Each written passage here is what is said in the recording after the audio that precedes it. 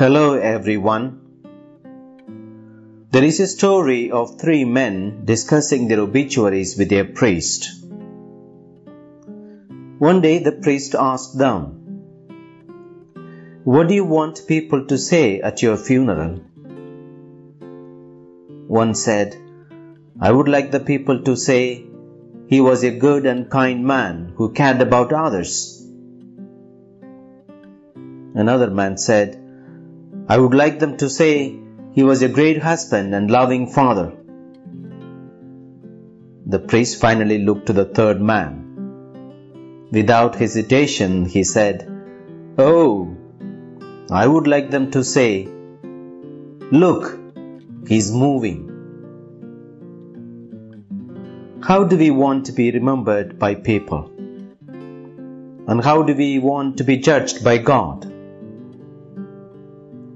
Friends, from our study of the letters of Paul to Timothy, we have come to know that Paul, with a certain knowledge that he would be soon dead, writes his second letter from his prison in Rome to encourage Timothy in his ministry.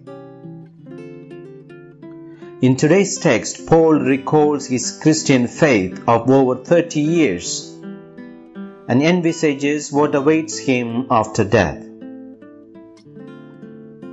He says, I am already being poured out like a libation, and the time of my departure is at hand.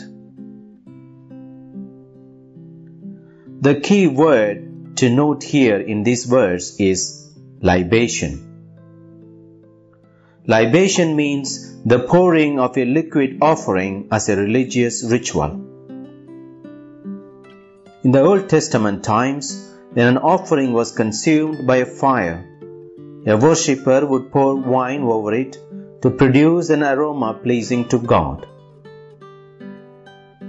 At the time, wine was a symbol of joy and celebration. Such offering was a symbolic representation of the worshipper's wholehearted commitment and joyful surrender to God. By speaking of his own death like a libation, Paul reminds Timothy that he is gladly and wholeheartedly accepting his death for Jesus Christ. In other words, he tells Timothy that he is not afraid to die because he is simply going home to be with the Lord. Moreover, he is happy and satisfied with the legacy he leaves behind. He says, I have competed well. I have finished the race. I have kept the faith. I have competed well. Paul recollects the struggles he has undergone for the sake of his ministry. In many of his letters, he speaks at length of his physical sufferings, such as being stoned, beaten, flogged, imprisoned, shipwrecked, and starved.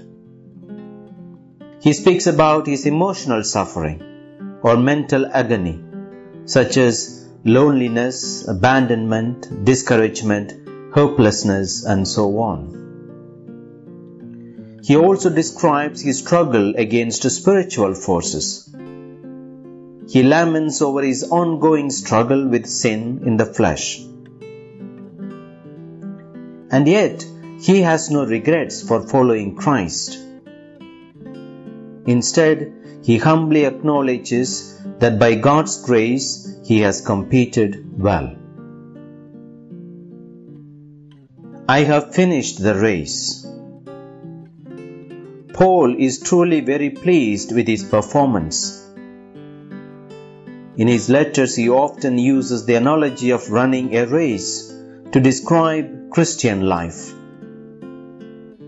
He began his race on the road to Damascus with the intent to win. Since the time Jesus Christ took possession of him, he has run the race with Jesus in his mind. Jesus is the Lord and Savior of his life. Now that he has come to the end of his life, he is content that he has finally reached the finish line at last. I have kept the faith. Paul takes pride in his faith. In his writings, he confesses that even in the face of death, he would not corrupt his faith or compromise the truth to please others. Now, close to his death, he asserts once again that he has been true to his faith in Jesus through all the conflicts and dangers to which he was exposed.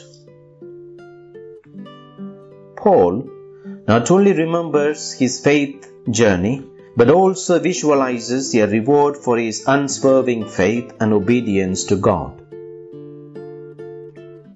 He says, From now on, the crown of righteousness awaits me, which the Lord, the just judge, will award to me on that day, and not only to me, but to all who have longed for his appearance.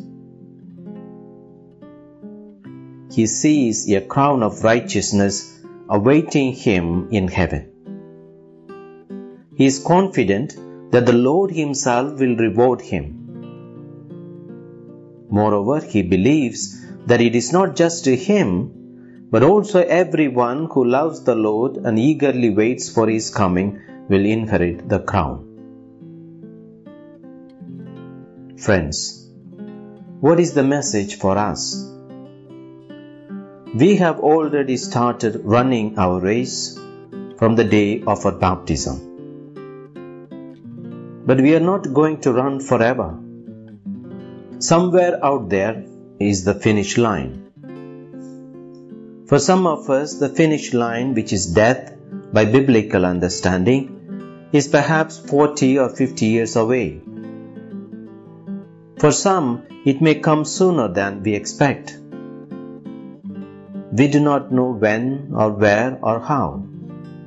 But sooner or later, it is bound to come.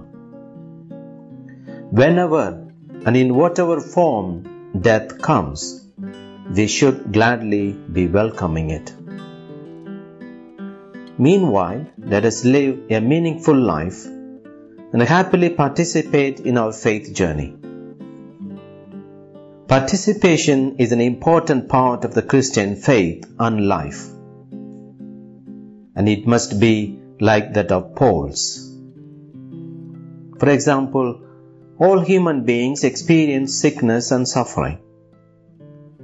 The only difference is less or more.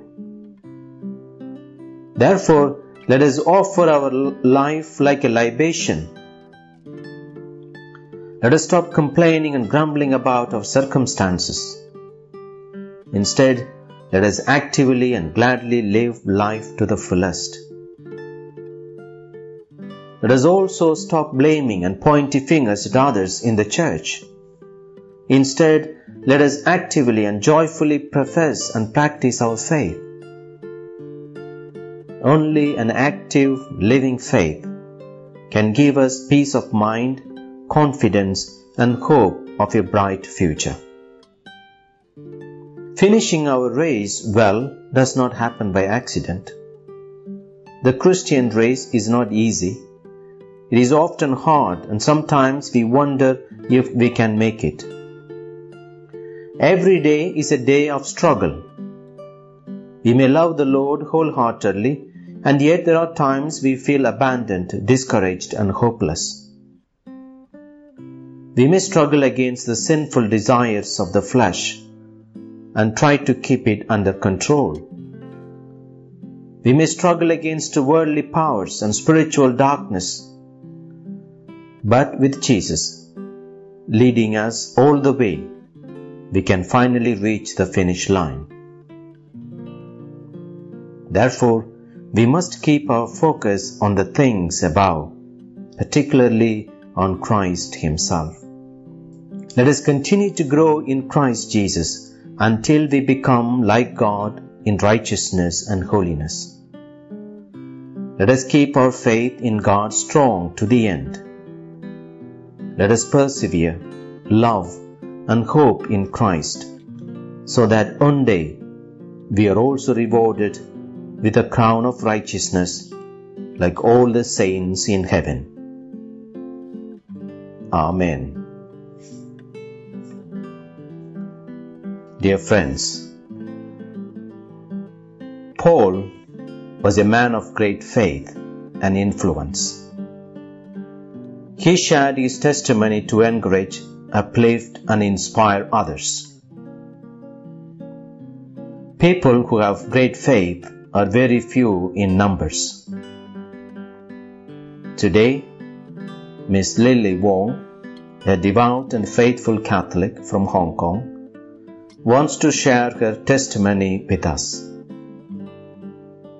I have known her for four years. She was diagnosed with pancreatic cancer in May this year. Since then, Lily has put her trust in God's power and will. Our community and her friends have also joined her in her prayer of thanksgiving and praise.